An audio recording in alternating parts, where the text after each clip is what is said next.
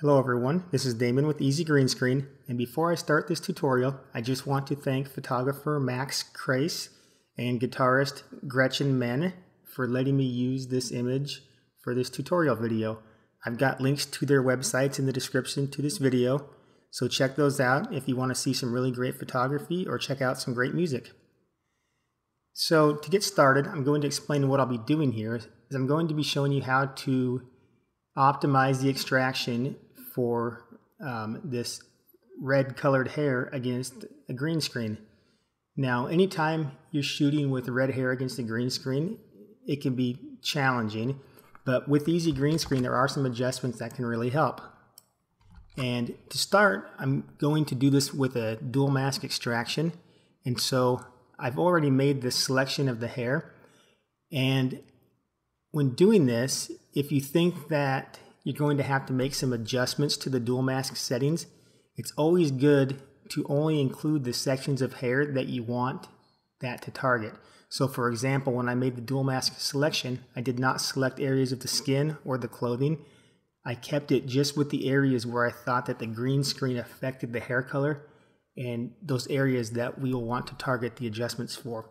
It takes a few extra seconds to do that, but it's really worth it. And you'll see when we get into Easy Green Screen what I'm talking about.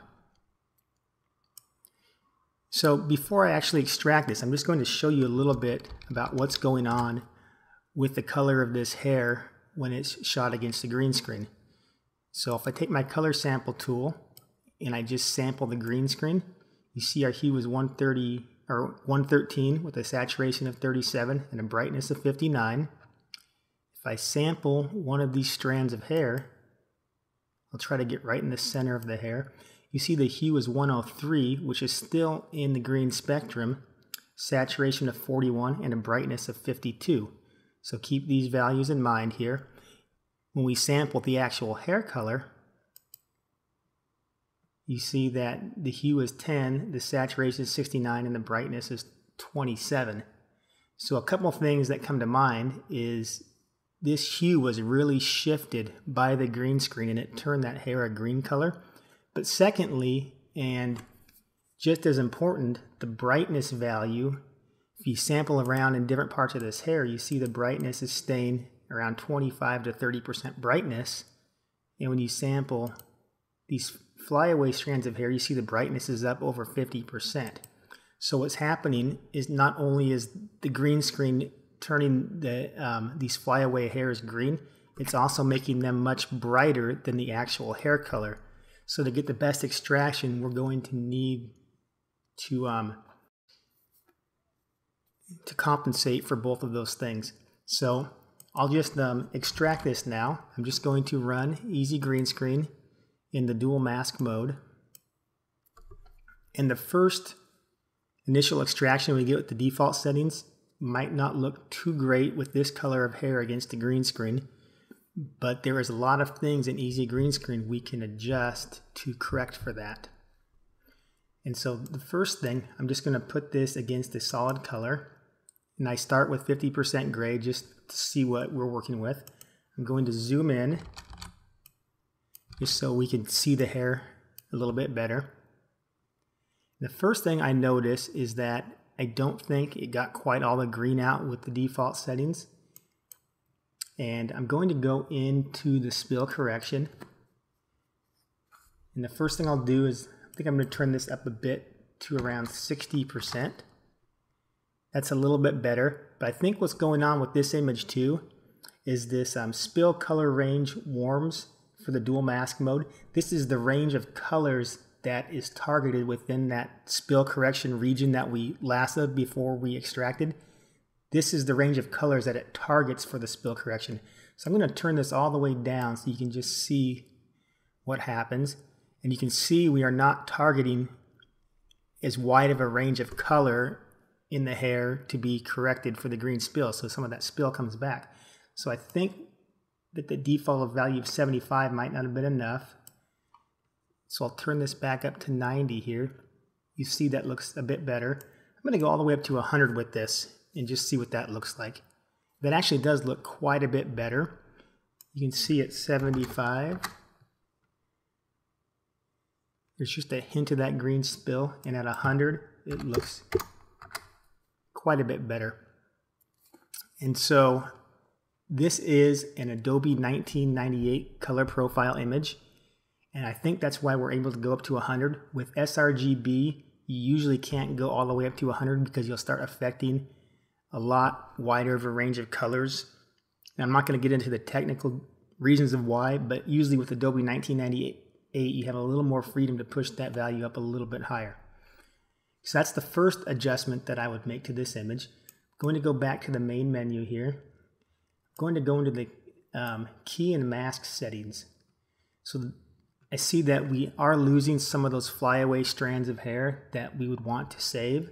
So the first thing I'm going to do is turn up this smart radius. I'm going to go all the way up to 250 and this was a very high resolution image. And so I think we can go up a little higher with this. And then I'm going to show you the next thing. I like to do this with blonde hair or red hair, but not with dark brown hair. But with blonde or red, I like to use this replace.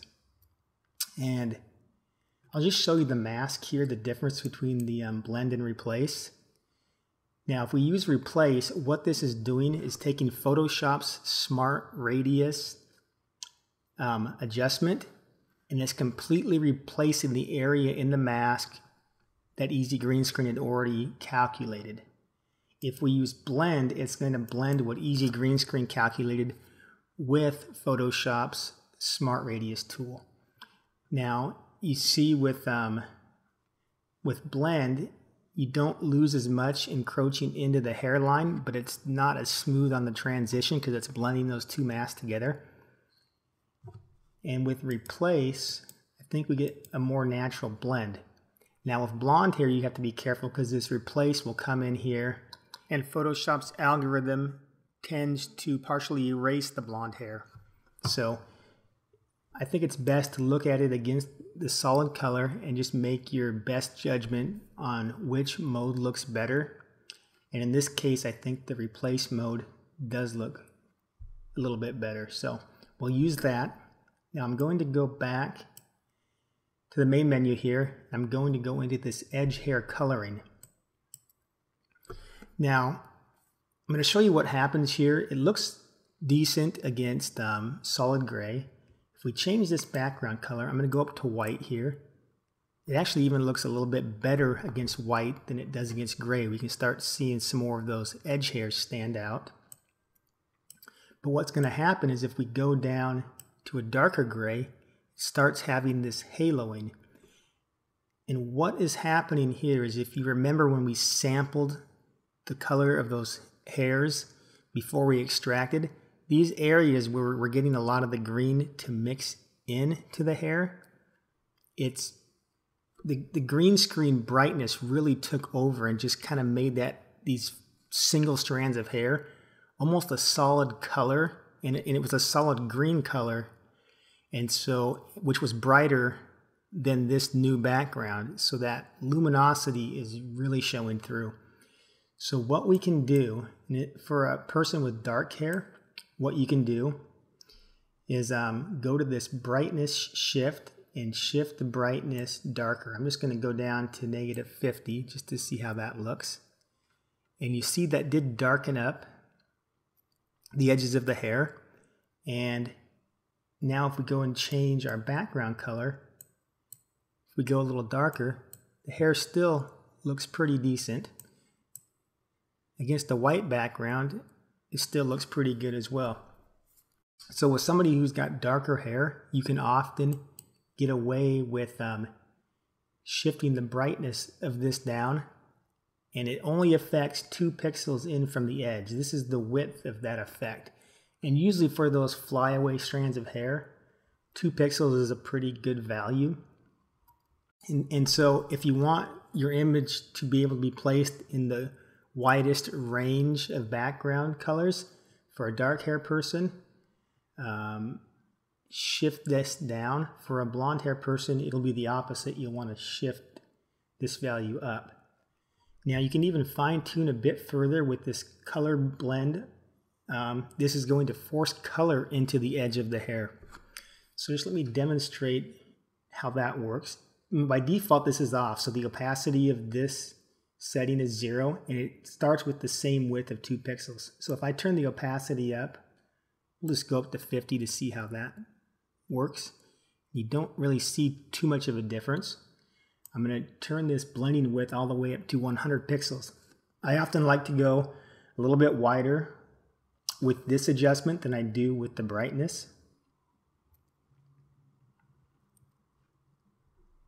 I'm going to turn this all the way off to see how much difference we see. We don't really see too much difference. And I think that is because the um, spill correction already did a pretty good job.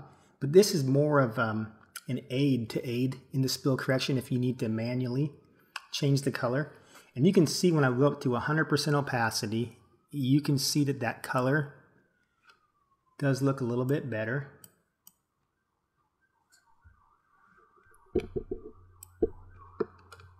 So I think I'm gonna, I don't usually like to go up to 100, I'm just gonna go up to about 80 just to, um, that way it blends a little bit better and doesn't look like it's such a solid hue around the edge. Now the last thing I'll discuss here is this change hair blending color. Now by default, this starts with a hue of 25, a saturation of 40, and a brightness of 50. Now this does not actually blend this color straight into the hair. It blends in a color blend mode if you know about Photoshop blending modes. And so what that actually does is blends in the hue and the saturation, but not so much the brightness. That way you can get away with this same default value for different shades of hair, whether it's uh, blonde or brown or red, you know, reddish brown in this case, that this default value usually works okay. But you can fine tune that. If you're on CC, you'll get a color picker. If you're on CS6 or below, Photoshop did not allow me to program this to give you the color picker. So you'll have to manually fine tune your color if you want to. But in CC, we can just go in and try to pick a color and just watch it change until we think it looks the best and really fine tune how this is working.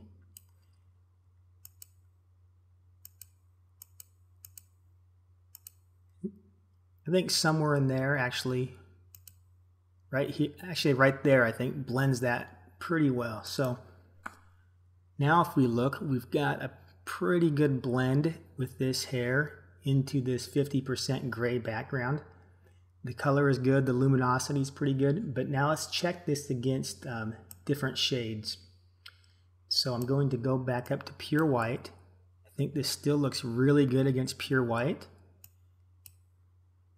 even into a darker gray with 35% brightness, I think it looks pretty good. Now, as we darken the color of the background, that color blending that we did may have been a bit much, but um, you can fine tune that as needed. Now, one thing I'll point out is it's really difficult to get an extraction that looks perfect on every single color of background. But if you use this method, it can give you the best flexibility to place that extraction into a variety of backgrounds. And you can always fine tune the, these settings that you use to work best with the background that you choose. So you can usually get something that looks good for the background you are using if you have an idea of about the shade of the background. And not just with um, neutral backgrounds too. Let's go try some other colors. So Looks really good there. Against blue, it looks pretty good. Against green, it's we extracted off green and put it back in green, but it, it looks good here. And I think those settings that we used actually gives a lot of flexibility um, for putting this into a different background. So one last tip I have is that if you went through the trouble to create some settings that you think you might want to use again in the future, it's a good idea to create a preset and that will save you all this work that we just did. So to do that, um, from the Easy Green Screen main user interface, you click the Manage Presets, and we'll just call this Red Hair Green Screen, just to give it a name. And you'll get this window that is asking you whether you want to use the auto spill correction opacity or if you want to turn that off and use the exact spill suppression opacity. And usually this doesn't make too much of a difference, but in this case, I'm going to tell it to um, turn the auto spill correction opacity off, and I'll explain to you the difference there. That's referring to this value for the spill correction opacity. And the reason you're given a choice here on what to do is sometimes you'll want a preset that you can use for different shooting and lighting conditions. And in that case, it'll auto calculate this spill correction opacity each time because that can vary based on your lighting conditions. If you know your lighting is consistent and you just want to say, hey, use this exact value that I chose in the preset, you choose in your preset to turn the auto spill correction opacity off. So in this case, it will always use the value of 60. So I'm going to exit Easy Green Screen now. And I'm going to rerun this and show you the preset that we have.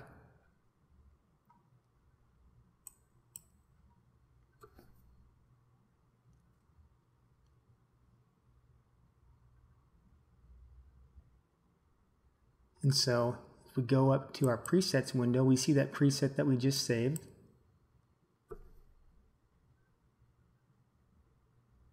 It usually takes 15 seconds or so. Depends on the amount of changes it needs to make away from the default settings. So time can vary a little bit. Let's look at this against the background color and you see that that saved the last background color that we had in our preset. You can of course change that as well. So anyway, after you've set your preset, then you can come in and any of those settings that we used, we can fine tune. And you see, for instance, in our edge hair color. If you bring in a different image and you think you don't need as much of the brightness shift in your hair, you could shift that down. But it just gives you a good starting point for those settings and then you can work from there. I also have another video um, for this same image that shows in Photoshop how to manually fine tune both the mask and the edge hair color even more if you need to fine tune your images further, so please be sure to watch that video as well. Thanks for watching, and if you're interested at all in Easy Green Screen, please be sure to visit our website. That is easygreenscreen.com.